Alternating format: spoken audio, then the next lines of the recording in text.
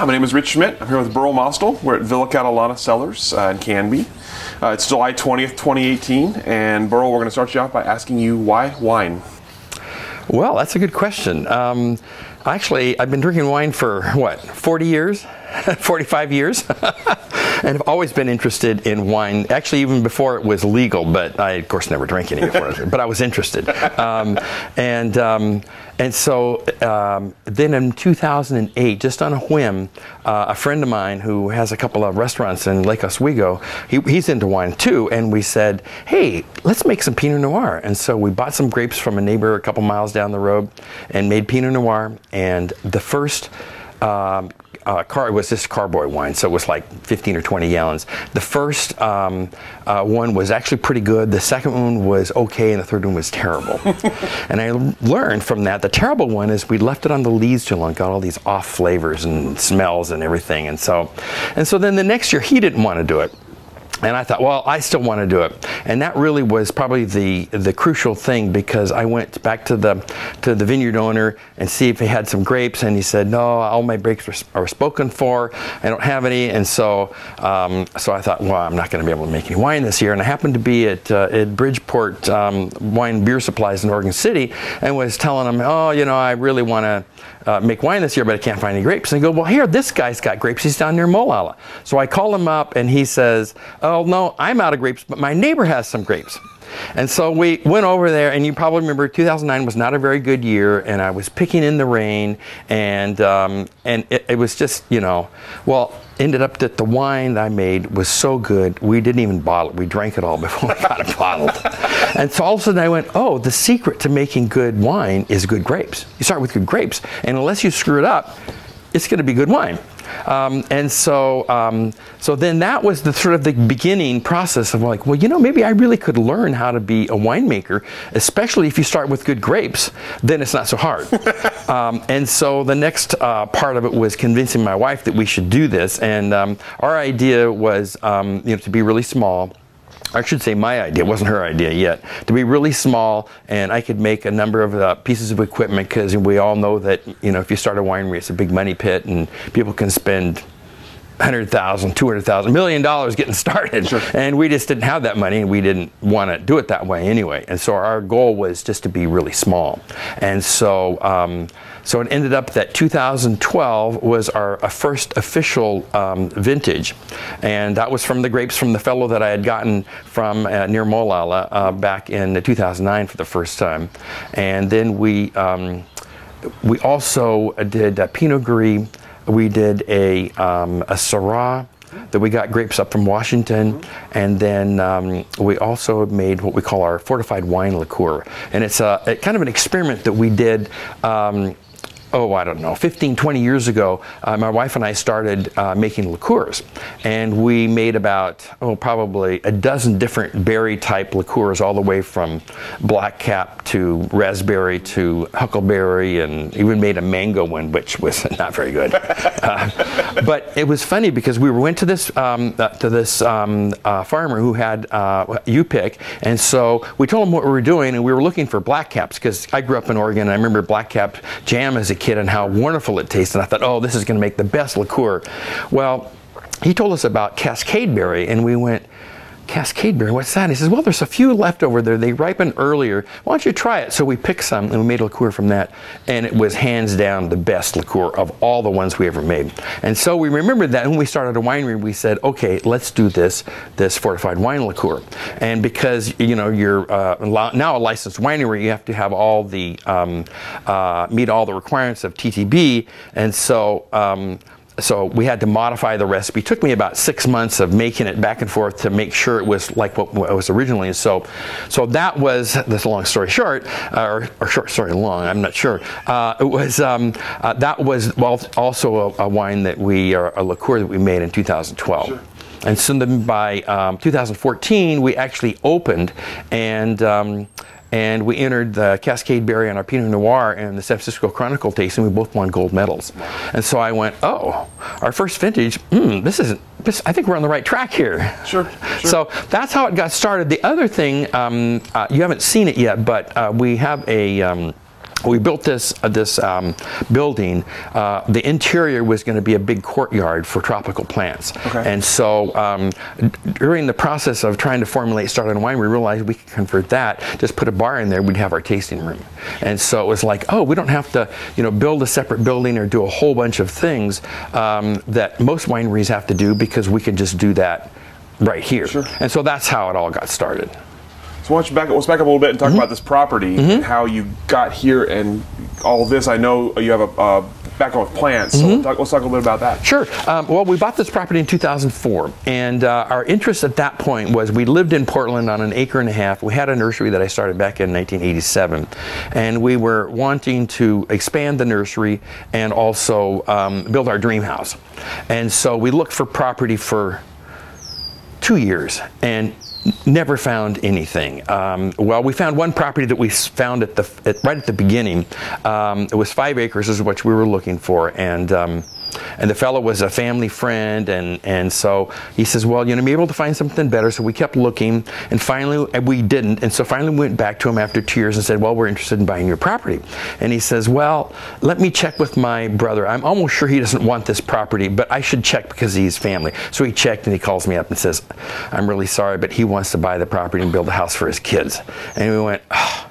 Well, so we happened to be driving by this property, uh, and there was a sign. It was in um, in uh, probate, and we saw it, and it was just a hayfield. There were no trees. We were looking actually for a um, uh, like a um, uh, an old uh, farmhouse that was tear down, but we moved some good buildings, uh, farm buildings, and some old trees. But we never found that in looking for two years. And so, um, so we looked at this. We didn't like it. You know, it was just a hayfield. There were no trees, and so you know, we kind of forgot about it. And like a month later, my wife goes, "Well, we should go back and look at that. We haven't found anything any better." So we went back and then started looking a little more closely, and we started realizing, well, you know, there was some potential here. It wasn't what we wanted, but we haven't found what we wanted anyway.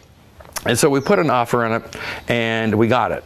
Um, and you probably know with Oregon, uh, they have really strict land use laws in terms of building on agriculture land. And so um, we had to qualify. You have to make eighty thousand dollars a year for, and two years in a row in agriculture before they will allow you uh, grant you a permit to build. We had no problem with that. All we had to do is move our nursery over here because we've been doing that more than that on an acre and a half. And so we moved that, and then in 2000 and um, uh, seven, we got our permit and started building here.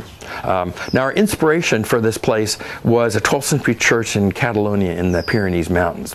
Um, and so we'd actually looked for several years trying to find a picture of a house that we liked that we could take to a um, um, an architect and say, "Hey, this is what we want." You know, we would design all the interior, um, you know, stuff, but this is what it look, want to look like on the outside. Well, we never found a picture. I mean, we looked forever. We even subscribed to Country Life, which is an English Manor publication that comes every week. You know, it's like $300 a year came every week, had all these pictures of English Manor gardens that were for sale and so forth. And so then finally, um, we knew that we wanted either an English Tudor style or Romanesque style. And so, because years ago I'd visited Europe and just fell in love with uh, medieval architecture. And so, so uh, we were at, uh, at uh, middle of winter, went to Powell's book, started looking through their architecture de- uh, department, found this one book on Romanesque architecture, and I was flipping through it, and I found this picture of this church, uh, San, Clem- San Clemente de Taüll. It's in the Pyrenees, and uh, we went, this is what we want. This is exactly what well, it's not exactly what we wanted to. We, we didn't want it to look like a church, so it took six months or a year working with the architect until we came up with this design that shows the inspiration from San Clemente. Um, and so that's how it how it started. And then in 2007, uh, we started building, and then um, we um, moved in in uh, August of 2008. So it took us a little over a year uh, to build, and we did all the work ourselves. I had about um, three or four guys that that helped me, and the only thing we didn't do was the roof, the interior framing, and the sheetrock. Other than that, electrical, plumbing, stonework. We did it all. So, and that was the way we could afford it. Otherwise, we never would have been able to afford to build this place. Um, so that's what shows what shows to Goya. If you uh, put your mind to it and you really work hard, you can create something that maybe normally you couldn't afford. Um, so that's kind of the, the the history of that part.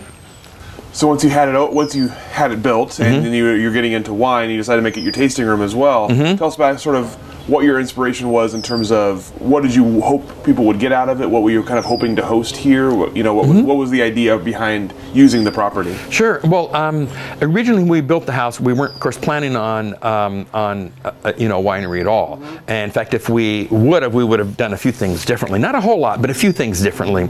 Uh, but the idea was um, to um, uh, create a lot of really nice gardens uh, that would inspire people. Um, and so. Um, for instance, at our old place in Portland, it was a, a fairly small garden, but um, it people would come and they would get inspired. They would feel good. They would people would want to have weddings in our backyard and things like that. And we realized, well, this is really important. We thought, well, this would be not only good for our enjoyment, but for for the enjoyment for other people, but also would help sell our nursery plants. Um, and so that's how it started. And then um, I guess it was about 2008 um, we uh, it, the, the, the the economy went south, of course, with the with the Great Recession and so forth, and so nursery sales dropped, and so we said, well, we need to do something other than opening our nursery. We'd open it uh, two times a year to the public. The rest of the time it was wholesale, um, and so we got the idea of holding a little jazz concert here, and so I think the first one we had like 50 people, and we had um, a chef come and do dinner, and and then it gradually built over the years, and then when we started the winery, it really started building. And so now we have um, lunches once a month and we have dinners in the summer and typically have about 200 people that come uh, for those uh, events. And now we're expanded even to, you know, some uh, um, Renaissance music and some, we're doing a chamber music concert for the first time this year and a variety of things like that. Um, and so that's kind of how it evolved in, in that regard. And it was, um, and really starting the winery too was partly out of just hoping that we could augment our um, uh, income because of the income from the nursery dropping so much. Sure, Um, and sure. so, and it went beyond our wildest dreams. but the other thing about um, what we've come uh, to learn um, is that um, uh, as we built the gardens and more people came, people would get inspired. And we realized that inspiration is really um, important for, for people um, and their lives. And um, I was a clinical psychologist for 20 years, practiced in Portland uh, for 20 years, and uh, retired from that, I don't know, 10 or 15 years ago now. And of course, in, in that uh, occupation, you're you're um, you know you're always talking about people's problems. You're trying to work out whatever the issues are, so a person can have a better life. Well, one of the things that I learned coming here is you're not talking about people's problems here now, but they get inspired, and we've seen people come um, that are. Um, in a bad mood and turn into to a good mood. Um, we've had people come and um, and actually have started crying because they, they felt uh, so good about the beauty and so forth here.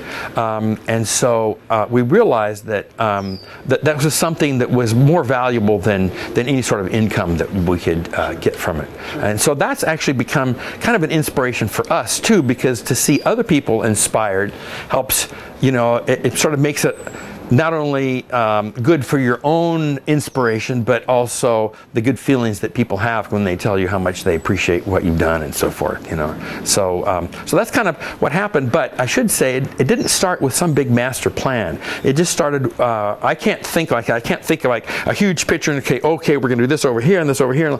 Uh, it's just one thing led to another. So, for instance, when we first bought the property we were sitting this was actually a slope here before we excavated it. Um, and we were sitting there. My wife and i were looking. I said wouldn't it be neat if we could build dig a pond here so the house would kind of overlook a pond?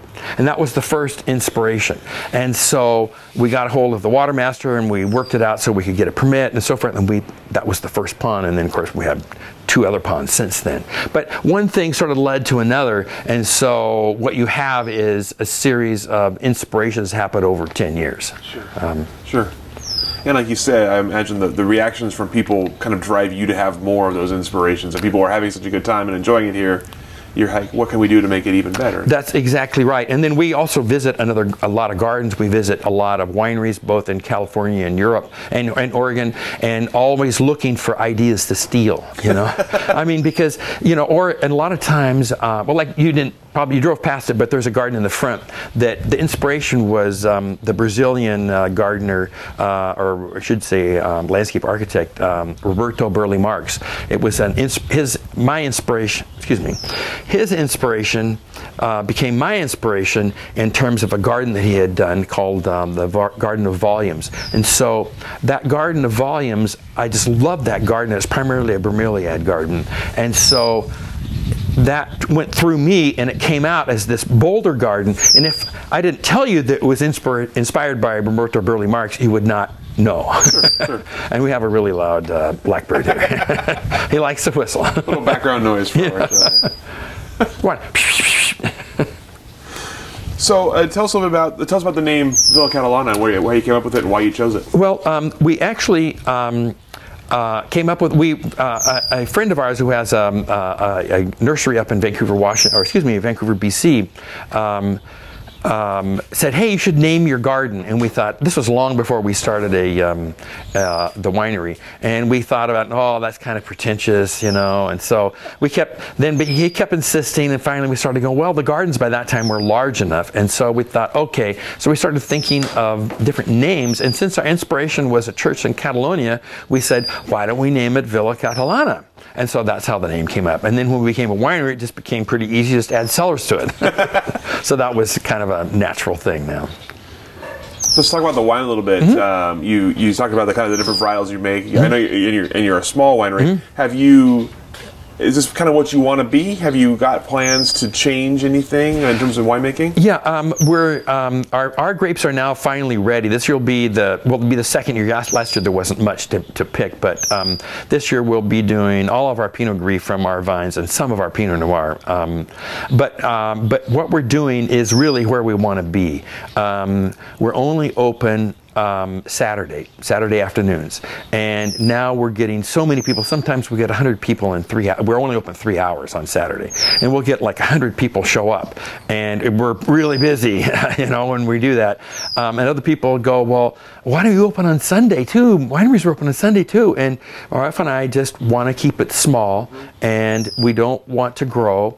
Uh, we um, we do um, less than 500 cases a year, and it all is sold from here. Every once in a while, a restaurant will buy some of the wine, but. Um, but we really um, we're not interested in, in, becoming big. We're not interested in a distributor, you know, and, and going that route. Uh, and we really think that for Oregon, um, that really the the value is in small wineries. Mm-hmm. I mean, big wineries have a place too. I don't want to say uh, they don't, but in terms of if people want to come for a personalized experience of wine tasting and, and enjoying, in our case, enjoying, um, you know, uh, a summer afternoon or in the wintertime in the conservatory and area of tropical plants while uh, sipping wine, it's like that's a lot more of, a, of an enjoyable experience than going to the grocery store and buying a bottle of wine and go home and having it for dinner, you know, which is important too, because we all do that. um, um, so that's um, that's kind of a little bit more about uh, what we're sure. trying to do. Um, and so what I did uh, when we first started, I was on a quest actually to find um, the best grapes I could find, and most of them uh, that I found came from fairly small uh, vineyards. Um, and so, like the first um, the first Syrah that I made came from um, Prosser, Washington, mm-hmm. and 2012 was not a very good year. It was a good year for Pinot Noir, but not a good year for um, um, you know, for hot um, uh, climate grapes. Um, and so the Syrah I made was okay, but nothing special. And um, then the next year, I experimented and I found a, a, a, little winery east of the Dalles on the Washington side. And I tried their Syrah, and it was so much better. Of course, the year was better too. And so then I started experimenting. They did a um, raised Grenache grapes. And so I thought, well, back, this was back in 2013. I said, well, why don't we try to make a rosé? I mean, rosé during that time was like, oh, nobody drinks rosé, right. you know. But I remember being in Sonoma uh, earlier that year, and I tasted a um, Sangiovese uh, rosé, and I said, if I could make a rosé like that, I would make a rosé. And so I found this guy because he grew Sangiovese, and so. Um, uh, but when I called him up, he says, "Oh, our Sangiovese is all spoken for, but we have Grenache." And I thought, oh, I didn't really want to make it out of Grenache. Well, of course, Grenache is the is a classic grape for a, uh, a um, um, you know rosé from Provence, and so I thought, okay, I'll try it. Well, it ends up that during the summertime, the Grenache Rosé is our best seller. Uh, we call it our summer picnic wine. It's light, it's fruity. Um, this year, it has just a little bit of residual sugar, um, and it's on a hot summer day. It's like you can't think of a better thing to have to sip, you know.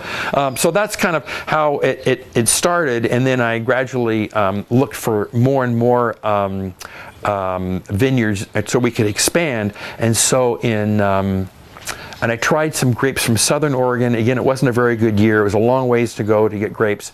Um, then uh, in 2013, um, I found a fellow uh, oh, about 20 miles west of Pendleton uh, that has uh, that was growing uh, Cabernet, mm-hmm.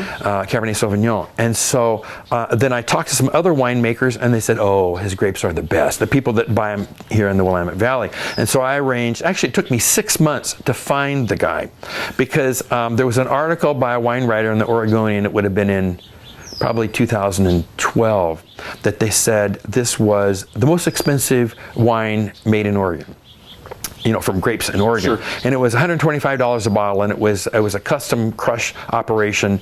The person that was marketing it didn't make the wine at all. I'm not sure who the winemaker was, and but they um, they gave me the or there was there was a mention of the vineyard name, and so um, so I searched and searched, searched, eventually found the vineyard, emailed them, emailed, no response, no response, called and called, no response. Finally, after I think about six months, they returned my call and they went, oh yeah, we can sell you some grapes. so it was like, oh, well, so we just bottled our 2013 Cabernet uh, last fall and it won a bronze medal at the San Francisco Chronicle tasting this last um, January. And um, besides the Grenache Rosé, it's probably our most popular wine. Um, not many people do Cabernet around here. We're actually going to double our production this year for Cabernet because people just they just love it. And one of the things that I, we've noticed um, that we uh, just over the last year or two is that when we get a lot of people from out of state coming uh, to, to visit us. Mm-hmm. Um, we've had people as far away as Barcelona and Toulouse to Texas and the East Coast and California and so forth. But the local people are sort of tired of Pinot Noir because, you know, you go to a lot of wineries and they have like four varieties or four different lots of Pinot Noir. And they're like, well, you know, I want something different. We're finding out that a lot of people want um, they like Pinot, but they also want a full-bodied red.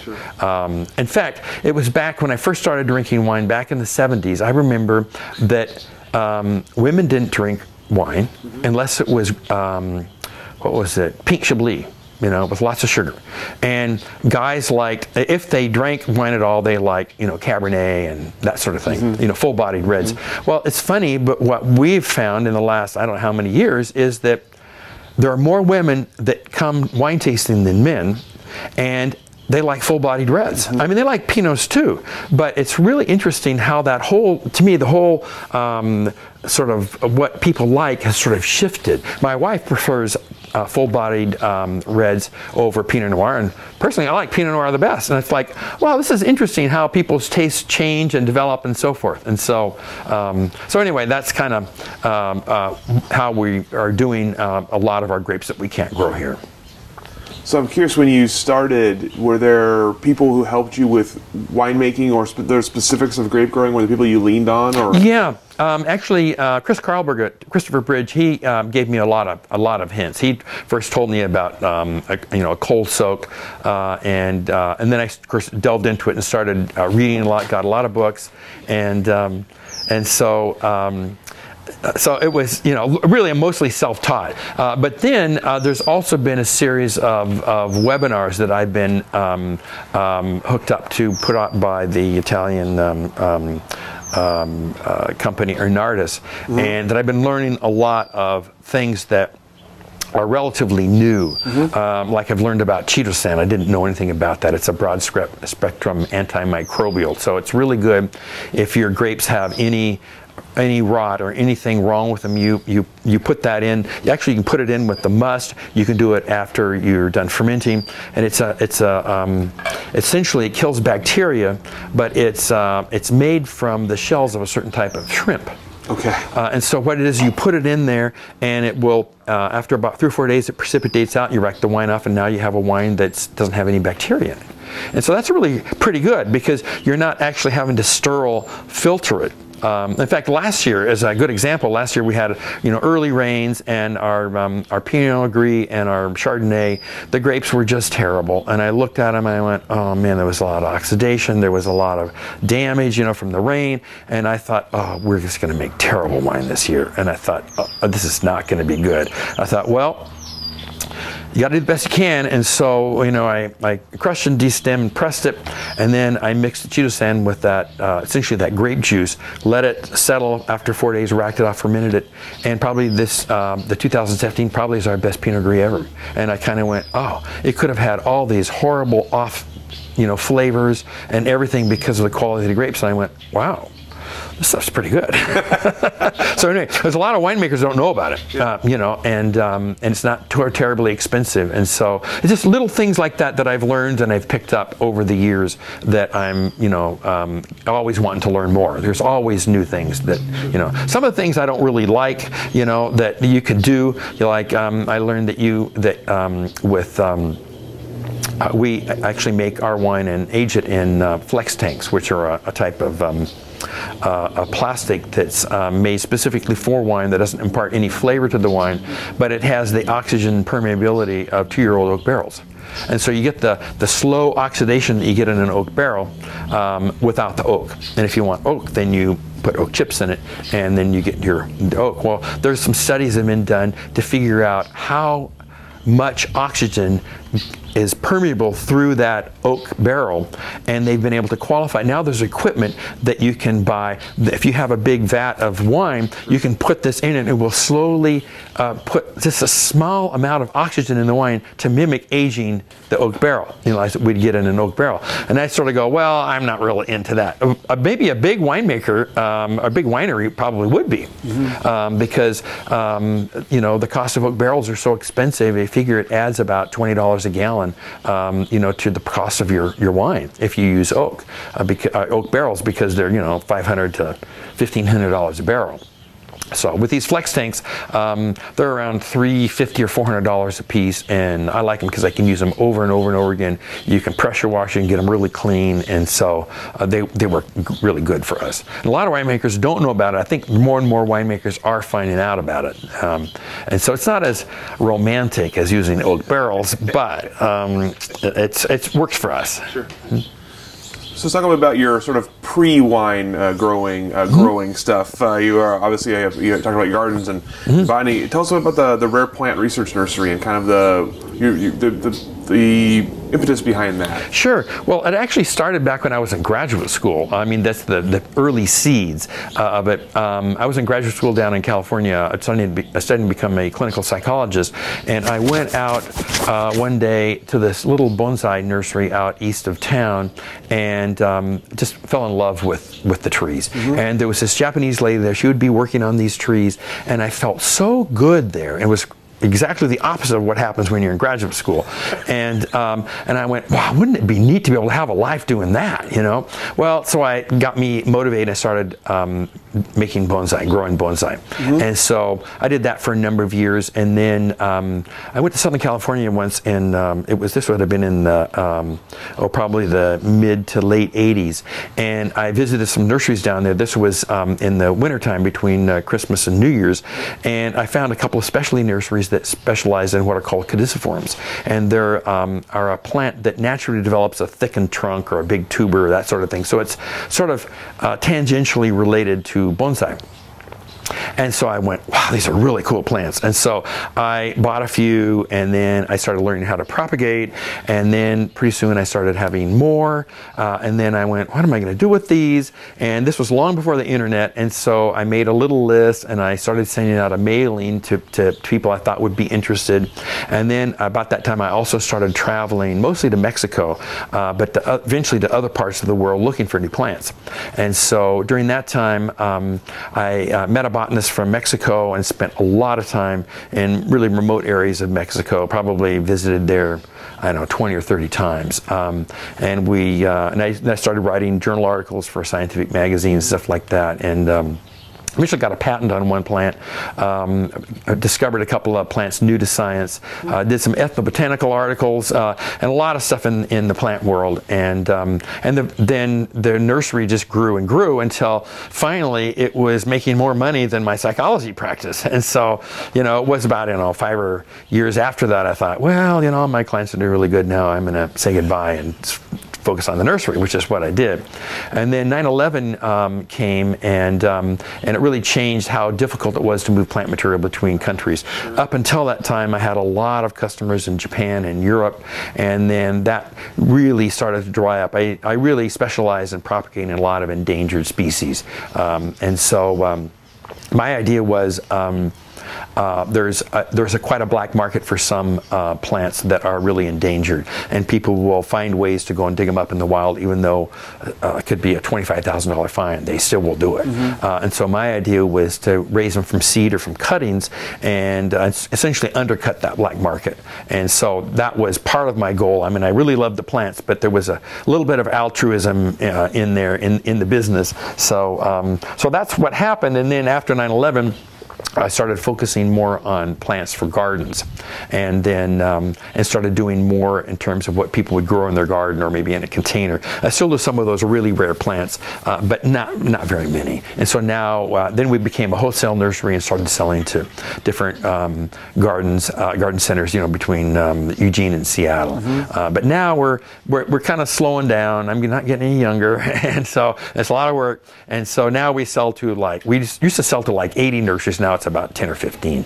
Um, and then we're open a couple times a year um, to the public. And the biggest one is in uh, May. It's the the third weekend in uh, May, and we'll have 1,500 to 2,000 people show up for those two days. Uh, so it's really popular. That's amazing. so uh, so that's kind of that, and and part of what we uh, have hoped that hasn't really materialized is that people would come taste wine, be inspired by the gardens, and then go and maybe start take up gardening or maybe expand their garden or mm-hmm. take, but it doesn't seem to have worked that way. So what we've found is there's a lot of gardeners that drink wine, but there are not many wine drinkers that garden. and so, um, and I think sometimes people come here and maybe they don't um, see how maybe they could, this is a pretty big garden, uh, and maybe they don't see how they could use maybe a part of what we've done and, and run it through their own psyche to come up with their own version, uh, you know, of something. So, um, so that hasn't happened that we wished it would have happened, but so far we haven't really noticed it inspiring people to garden more. Now, now the gardeners that come here, it inspires them, but the people that aren't gardeners doesn't seem to, they just come here and enjoy it. That's amazing. when you started growing grapes, were there any unforeseen challenges? Obviously, you had grown all of these things, you had all this knowledge. Was there anything special about growing grapes? Well, grapes are, are real. They're as, and it, and it comes to plants, they're real thugs.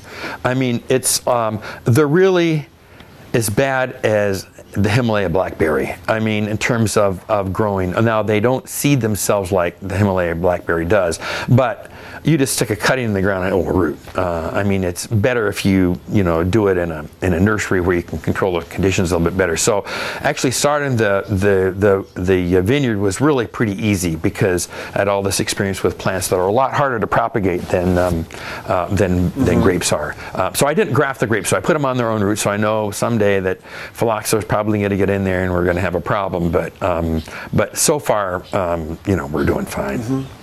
And plus, we didn't have any money in the beginning too, and so we got um, cuttings from our neighbor after they'd trimmed their vines in the in the winter, and I just rooted them, and boom, then we planted them out a, a year and a half later, and now we have a vineyard. Uh, have you have you developed uh, like a winemaking or philosophy in your time making wine? I haven't made it for many years, mm-hmm. but do you have like a winemaking philosophy? Well, um, I'm always trying to make wine better, um, and so. Um, so for, for what, what I'm trying to do with a Pinot, uh, for instance, um, I want a fair amount of fruit. So when you taste it, you definitely taste fruit. But I'm also wanting to get some of those earthy tones that you get in a really, really good Pinot Noir. And I'm, I've gotten a little in that direction, but not as much as I would like. Um, years ago, actually, when I first visited France back in 1976, um, I was into wine and um, I visited uh, Burgundy and went wine tasting. I found this little place in Beaune. It was called uh, Marché au Vin, and it was um, it was a wine tasting place that was in um, uh, an old, um, very small Gothic church with a basement. And for $2, you would go down and taste 40 wines and you just pour them yourself. And so, you know, the little spittoons so you can spit and so forth. And so I went down, I started tasting all these wines. And I got to Chambertin, which is, of course, one of the better um, uh, French uh, Burgundies. And I thought, you know, these were like, in those days, these were like $30 a bottle, which nowadays would be like $150 a bottle. Um, and I tasted one of those and I went, oh, this is completely different than anything I've ever had. This is amazing. And so that's been my goal ever since, and I'm not even close.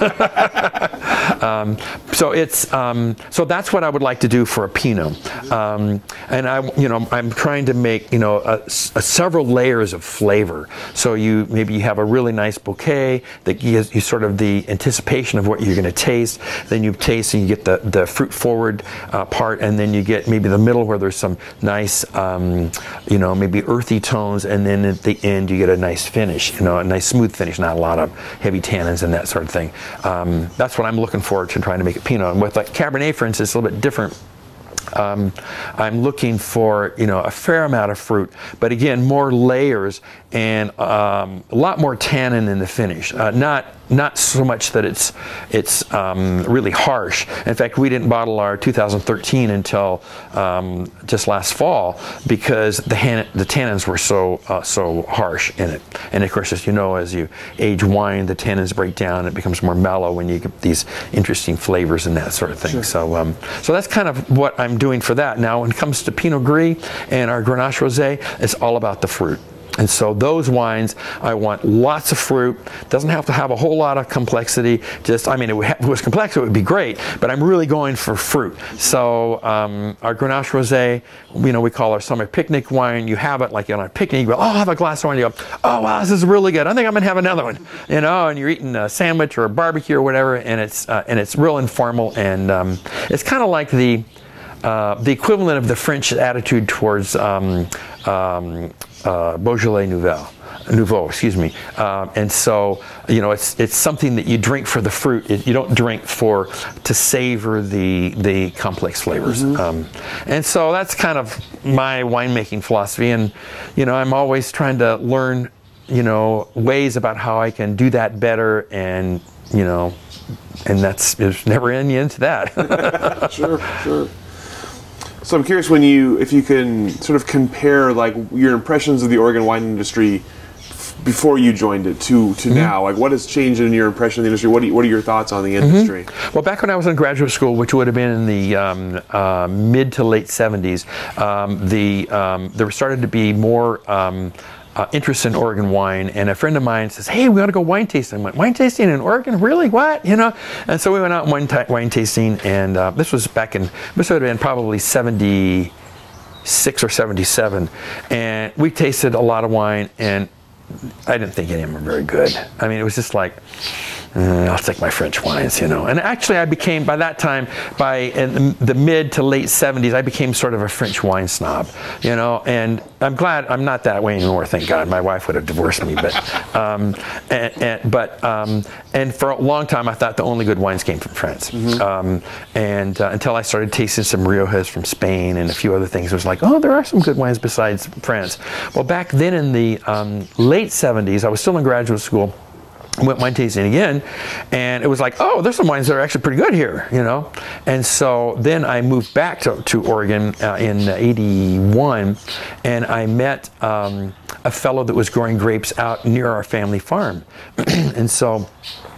I, you know, we started talking. A really nice guy, and um, and he was making wine, and um, and I think he was selling some grapes too. And so we had our family farm, and oh, I'm going to plant some grapes on the family farm. And so I got some cuttings from him, planted some Pinot Noir, and uh, and then I was busy. By that time, I was um, a clinical psychologist, really busy.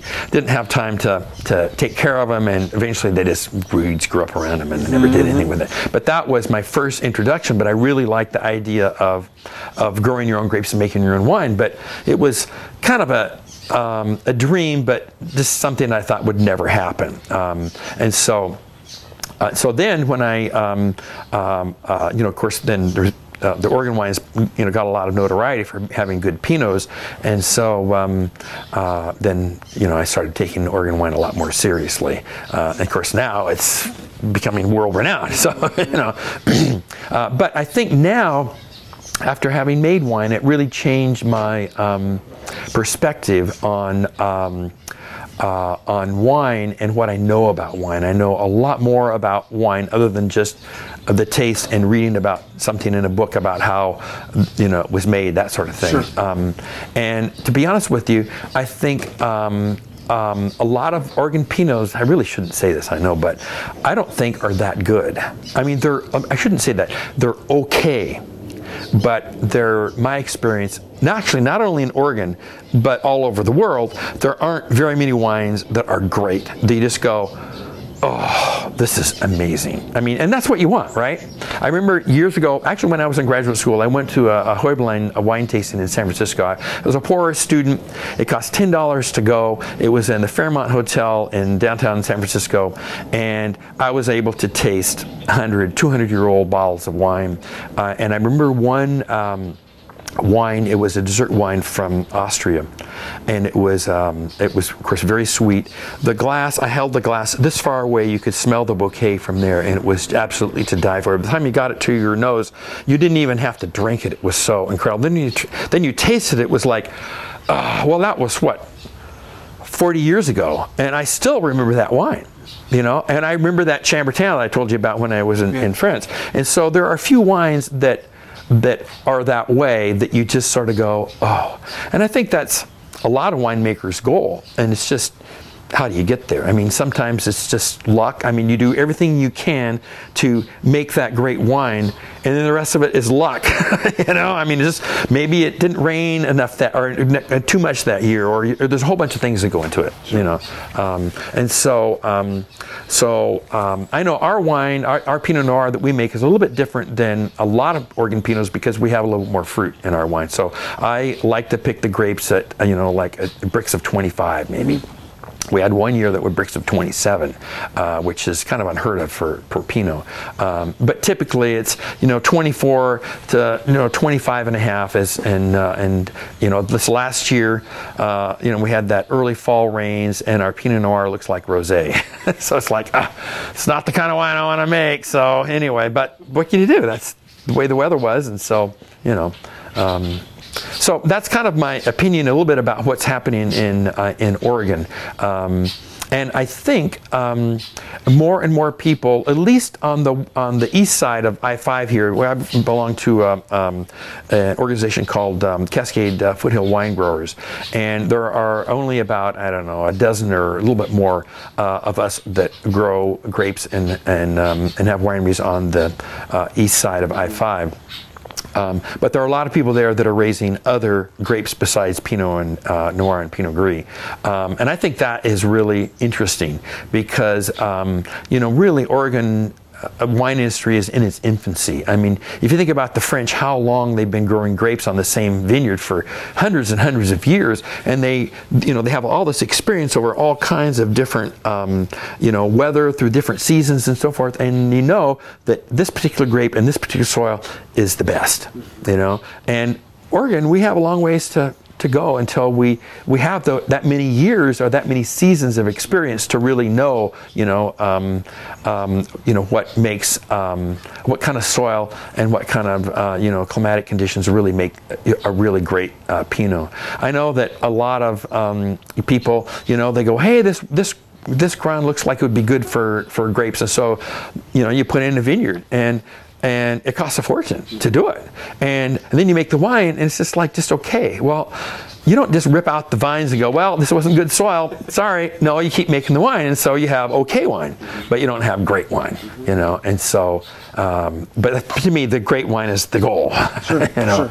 so um, I mean, because it's like. Um, my wife and I, we we have wine with dinner, not every night, but almost. And it's like, you know, you have a glass of wine with dinner, and it just makes the dinner just a little bit better. And if you have a really good wine with dinner, it makes the dinner a great dinner. And that's really, you know, what I think it's all about. In fact, we have a, um, a little motto here. Um, we have, because we garden a lot, we, we say, um, food, find wine with friends in the garden. And that's sort of the motto here that, that we kind of, um, uh, we live by, I guess, you know. It's one of the things that we really enjoy.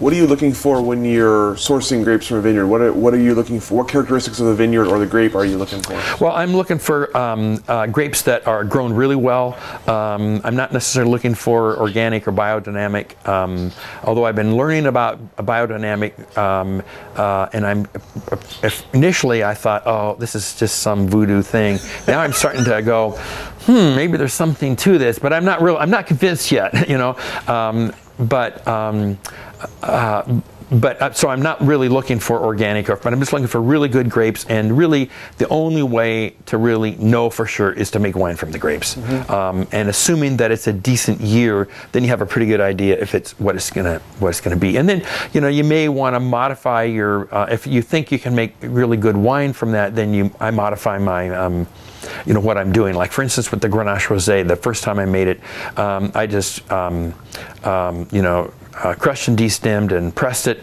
and fermented it. And it was really, really pale pink. And it had good flavor, but the second year I thought, you know, I'm going to leave it on the skins for I think like three or four hours and get a little bit more color, a little bit more flavor. And I did that and was like, oh, this is so much better. And so you know, you, you, you, know, you kind of adjust to the vineyard. If you really think those grapes are what you're looking for, then you can alter your, your winemaking technique a little bit, um, uh, you know, to, to make it a little bit more what you want. And, you know, I, I used to think that the winemakers, um, what he did to the wine or she did to the wine was not that important. Uh, but then um, I mentioned uh, Chris Carlberg, who um, we got some grapes from um, initially. Well, then, I don't know, three or four years ago, we bought some um, Pinot Gris from him. And um, same vineyard, um, same year, everything. I thought, oh, the, our Pinots are going to taste really similar. So we tasted his, he tasted ours, completely different. You would never guess they were even in the same same vineyard mm-hmm. and same year. Mm-hmm. Uh, and so what the winemaker does really does matter, is what I'm getting at. so you and I've talked a bit before about sort of Oregon wine history mm-hmm. and your interest in it. Uh, tell me a little bit about your the developing development of interest and, and, sort of the projects you were thinking about working on with that. Sure. Um, well, actually, one of the things that I'm really interested in, and I really haven't got off the ground with it. Um, years ago, um, when we were first building this, we um, went to uh, Mexico, to right along the border, um, to a little town called Tecate, where they make um, roof tiles. And so we wanted handmade roof tiles for this building that we we built. And so we went down there to see if they would fire them to a higher temperature that would withstand our freeze thaw conditions. Well, they nobody was interested in doing that, but a friend of ours who owned a wine distributorship up in Seattle had told us that there's this area called Valle de Guadalupe, just south of um, of the border. I don't know, uh, 20, 30 miles that north of Ensenada, that uh, there it's a Mexican wine growing area, mm-hmm. and so we sort of went and I went, Bert, really? Mexican wine? Really? He goes, well, the wines aren't very good now, but they're on a path to being good. Mm-hmm. And so this was back in, um, probably would have been the, the mid 90s. And so when we were down there, it would have been about 2006. We tasted. We so we went to the to the to the tile place and so forth, and they weren't interested. So we had this time and said, well, let's you know, we're right on the road. Let's drive down to Valle de Guadalupe and taste some wine. And so we did. And so um, we tasted some wine, and they weren't very good. And you know, and then at the end, we were stopping by the side of the road, and there was this old couple. They were selling wine in this little, small little building. With a kind of a little shack, is what it was, and had this wine. And we said, oh well. And they, but they were just selling it. And so we were there, and we were talking to them in my best Spanish, which wasn't very good. And finally, we thought, oh, we'll buy a bottle of wine from them. And so we bought a bottle of wine. It was twenty five dollars, and we went twenty-five dollars. I taste this. We don't, this is. I mean, for us, that was expensive wine, especially in those days. And so we. Um, uh, this is a long story. Sorry about it, but it, there is a, there is a, um, a point to the end. If I don't forget it before I get there, um, and so um, so we brought it home, and I forgot about it. And a year or two later, you know, we were having a wine. Oh, let's open this. It's probably not very good. It's just a vin ordinaire kind of dinner. Open this wine, and we couldn't believe how good it was. And we went, oh. So then we went back there to actually taste wine, and that was about two years ago and we tasted at a number of places. Now there are about, well, and two years ago there were about 50 winemakers in the valley there. And we went to, um, they have a wine history museum there.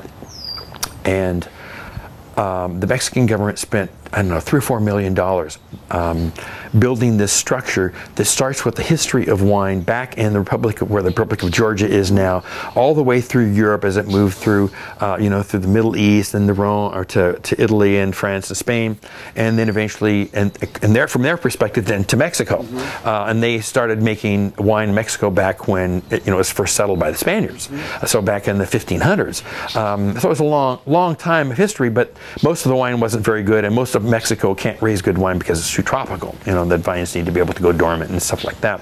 Um, well, so walking through this wine history museum, they had a lot of um, of videos. They had, you know, um, um, uh, examples of like old wine presses, mm-hmm. how they make corks. They had bark, uh, big chunks of bark from the cork oak um, tree, and um, and how they make corks and all this, plus a number of videos that you could watch.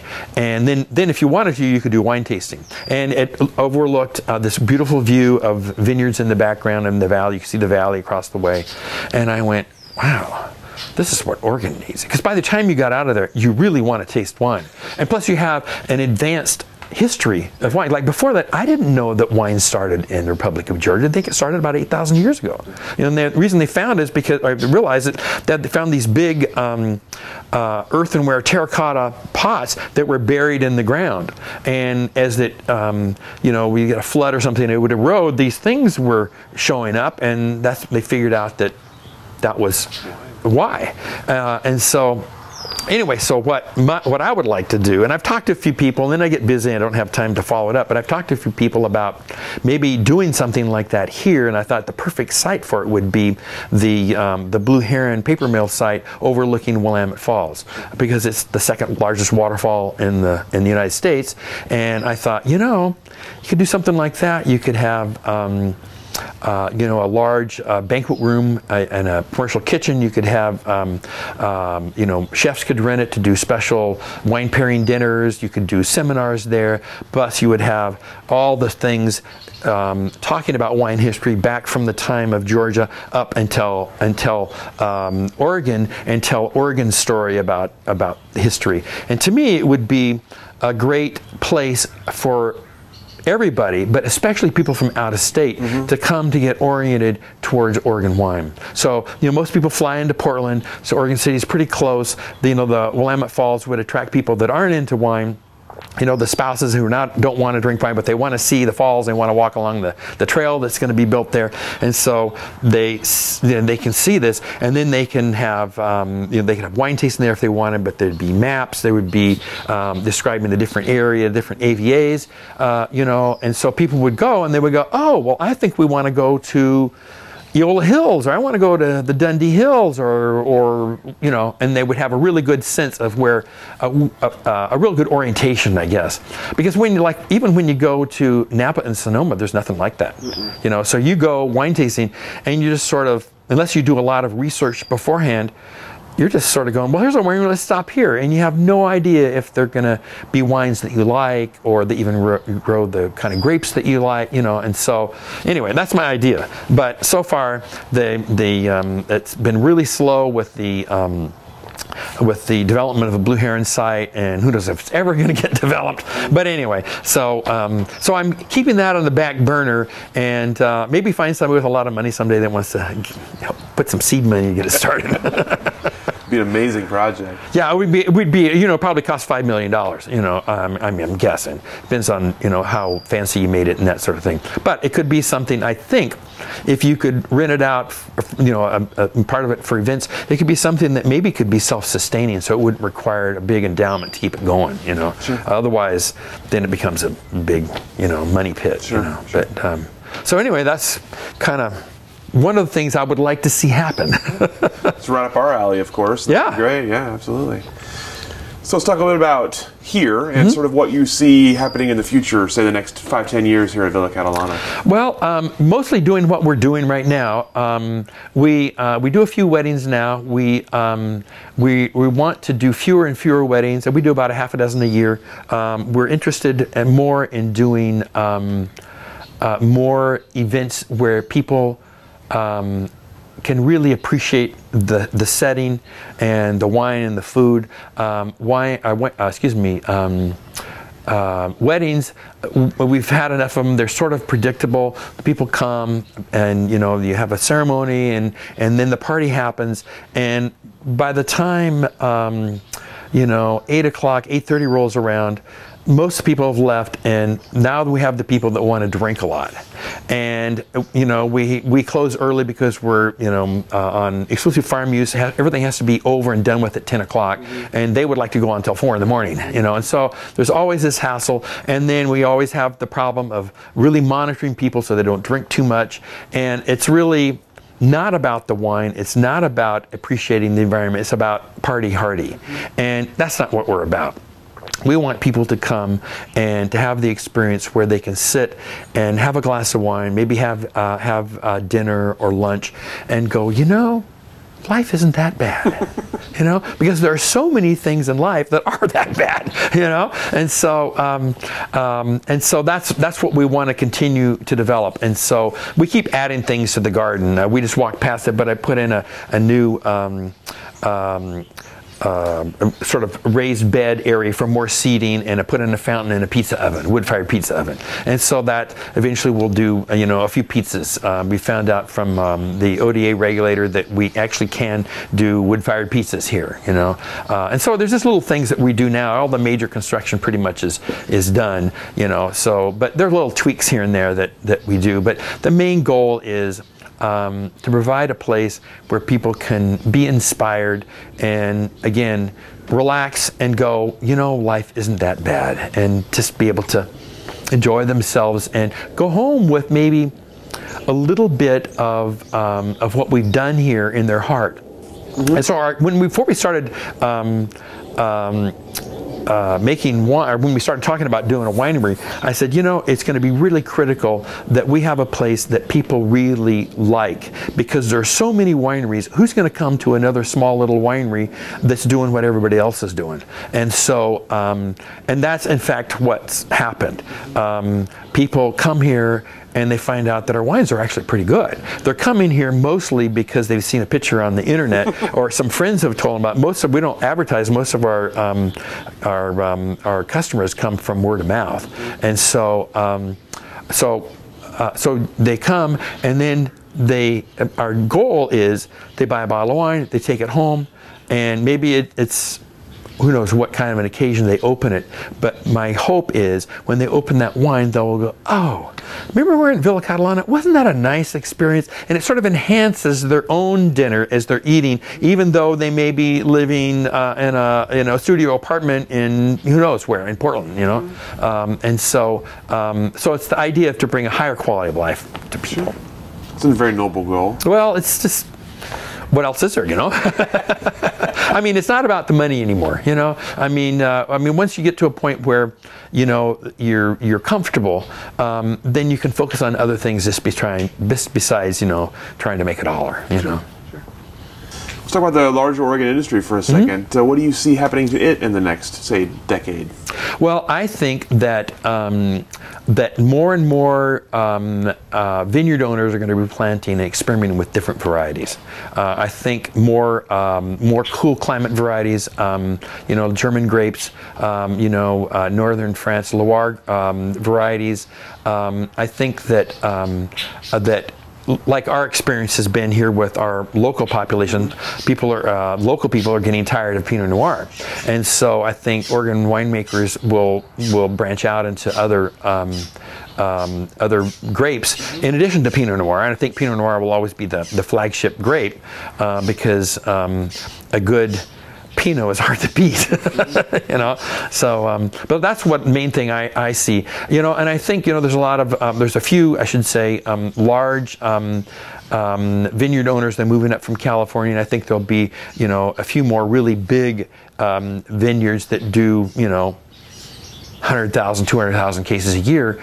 Um, but um, but I think the thing about Oregon is this: it's a small vineyards mm-hmm. um, where a person can go and they can they can talk to the winemaker and say, "Hey, this is how I made this wine. What do you think?" You know, and um, and you can get good feedback from people when you do that. But I think that's what people want. In fact, we had a couple here come uh, who used to live in California. They moved to Oregon, and they said, "You know, we are um, we don't go to Napa and Sonoma anymore. We're tired of the California wine scene. We want to be able to come to a place and talk to the winemaker, talk to about their philosophy of wine. And they said, but you know, it's changing here. Oregon is starting to become like California, and that you don't get to talk to the winemaker because once you get very big, then well, the winemaker is busy making wine. He doesn't have time to talk to people in the tasting room, you know. And so that I see as a, as a potential um, a problem, I think, uh, for those people that really want to have a personal wine experience. Um, sure so that's kind of what I see is is happening with with Oregon. Know, more, more, varietals and um, and you know again small wineries being the main emphasis, but there's going to be some really big ones come in because a lot of people don't go wine tasting. They want to go to the grocery store and buy a bottle of wine and go home and take, drink it, and they want to have a, a, a decent wine. You know, and we need that. with the, the growth of number of wineries, number of vineyards over the last five, ten years, do you see that continuing? Do you see us adding 50 to 75 new wineries every year for the foreseeable future? You know, I don't see how we can do that unless people, there's a lot of wine that gets exported because there are only so many people in Oregon, and then there are only so many, um, you know, out of state visitors um, that eventually I think it will be, and, and in some respects it already is, um, pretty, gets pretty competitive until. Um, uh, you know, there's a fight for people that want to go taste wine, and and there's some wineries that aren't going to have the draw that are going to fold or they're going to sell their vineyards to to you know a really large conglomerate or something like that. Um, so I see that that uh, even though on uh, my experience with the Cascade Foothill Wine Growers Group, we're, we're not in competition with each other, and we send people to each other and that sort of thing. You know, uh, you know, someone will come to the tasting room and say, "Hey, are you going to do any more wine tasting?" We recommend our neighbor or, or somebody. You know. Um, but I think, um, uh, especially where there are a lot of wineries, it becomes harder and harder for uh, a small winery to differentiate itself from everybody else. Now we've done it here with our gardens and our, our you know, 12th century inspired, you know, stone buildings. You know, so that's a little different. And a lot of people, a lot of wine wineries don't won't do something like this um, that, that's that's pretty unique, um, or won't know how to do it, or it'll cost too much money, or whatever. But but you know, I think more there's going to be more and more wineries in Oregon that start to become like Napa Valley, where there are, you know, you can spend fifty million dollars on a winery, and you know, as, as more money comes to Oregon, you know, that's going to happen, and and I think there's a place for that. You know, um, we, uh, my wife and I go to a Napa usually every year, and you you just never know what you're going to find. And uh, we've met a guy down there that is drilling all these. Um, um, caves into the side of a, a, hillside, and he's like importing all these workers from Italy, and he's doing all this Italian stuff. He's probably spent at least $50 million on his, he's got two wineries now. And it's like, it's amazing to go there and, and visit. But, um, but it's not what Oregon's about, at least not at this point, you know. And it sort of becomes a little bit Disneyland esque, you know. And It's like, well, do you really want that? Well, for some people, yeah, but maybe not for most people. You know, so. What advice would you have for someone who wanted to enter the wine industry today? Oh wow, um, probably. Um, really be sure that you really want to do this and um, that you make sure that you have a real passion for it and also that you're not afraid of hard work um, and that it's going to take a lot and also to um, come up with an idea that will differentiate yourself from the other five or six hundred wineries in, in Oregon mm-hmm. because if you don't you won't make it. Mm-hmm. You know, there's just they're just not going to get the people to come. So you you yeah, and I think personally, I think it takes more than just making really good wine to attract people. I mean, eventually the word gets out that you make really good wine, and that will certainly bring a lot of people. But if you have a, a place that people can come that they really enjoy, now they're getting two things for the price of one, you might say. Mm-hmm. Um, I know there are some vineyards uh, or some wineries now in Oregon that don't allow groups of over eight people, and they don't allow you to bring food, and and that's that works for them, and that's great.